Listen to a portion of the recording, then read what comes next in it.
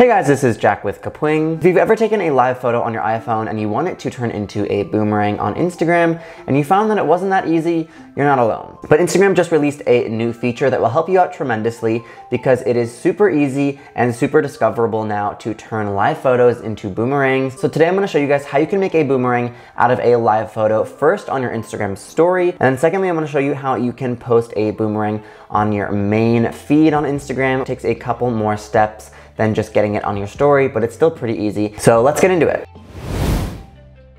Okay, so the first thing you're gonna need to do is make sure that you have a live photo. So you can just click on any photo in your camera roll or take one and it should have the little live button and that little icon of sort of like a ripple in the top left. And if you hold down the photo, then it should start moving. You can see I'm discoing here. I was uh, in an outfit for a Studio 54 party. but if you don't have a live photo, then you have to take one. So you'll just open up your camera app on your iPhone and then make sure that the little ripple in the top right, right here, is yellow. You can click it and you'll see that it'll turn off, and if you click it again, it'll turn yellow and it'll say live. Then just take the picture and then you will have a live photo. So then once you have your live photo, all you have to do is go to Instagram, open it up, and then go to make a new story. So just swipe to the left and then you're going to upload your live photo. And then it should show you that it has the boomerang symbol in the top left corner. Um, if it is a live photo, it'll show you the boomerang symbol. So you can see all of these will work. And as you can see right now, it is just a photo. However, they made it really discoverable so you can make it easily into a boomerang. All you have to do is click on the top there, on the top left um, there is the boomerang button, which looks like a little infinity sign. And if you click that, then it will turn it into a boomerang, which you can see here. And there are a couple of new options as well that you can do to your boomerang. So firstly, the first one that's highlighted will be the original. Um, the one to the right of that will be a slow motion boomerang. To the right of that, it will have an echo effect, so you can sort of see your movement and where your body has been. And then the last one is duo, which I just believe is twice as fast as the regular. So there you have it. Then you have your boomerang boomerang. So if you want, you can just post it right now um, on your Instagram story, and then yeah, you just do that by clicking post your story. However, if you do want to post it on your main feed, it is a little bit more complicated, but you're gonna do the same thing you've already done. This is the perfect place to be if you wanna post on your main feed.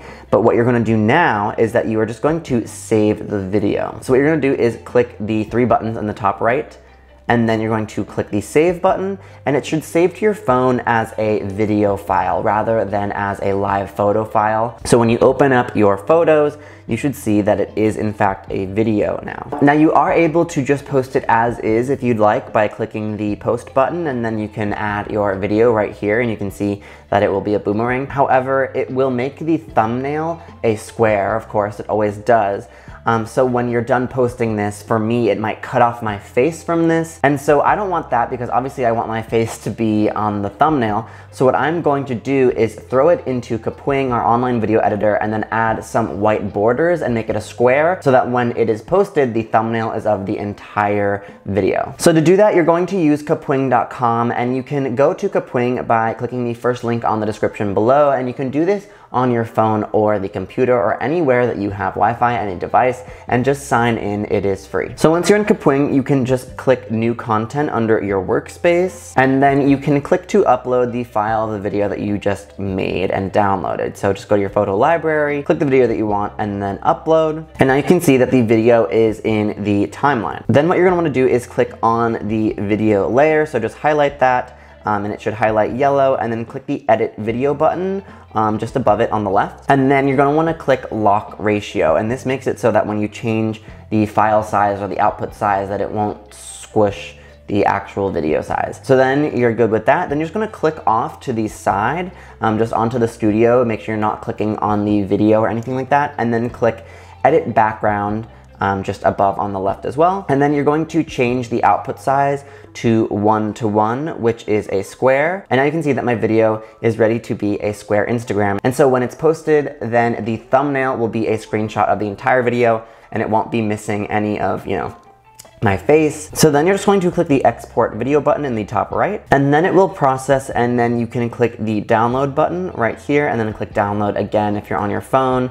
It will download into your browser downloads in the top right. Just click the little downward arrow, and then click on the file, make sure that it is good, and then you can save the video. And then you can just go ahead and post on Instagram. All right, guys, that's about it. I hope this was helpful. Make sure to subscribe to the channel to join an online community of modern creators, and also check out our Discord so you can keep up with other Kapwingers and the Kapwing staff. And I'll see you guys in the next one.